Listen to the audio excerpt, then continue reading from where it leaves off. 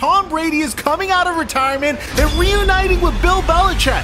You heard that correctly. Tom Brady is coming out of retirement and rejoining the football world, just not in the way you may expect. The seven time Super Bowl champion has signed a mega deal with Fox for $375 million over 10 years to, to become the network's number one analyst. But this comes with a significant amount of drama. Former number one analyst Greg Olsen is a little frustrated as a result of this because instead of making $10 million a year annually, he's gonna make three. And this is what he had to say about it. What that means for me going forward is yet to be determined. You know, I'm not taking this just content on being one of the crews. Like I want to be the best crew. I want to be on the best crew and call the best games. If not, why? Why?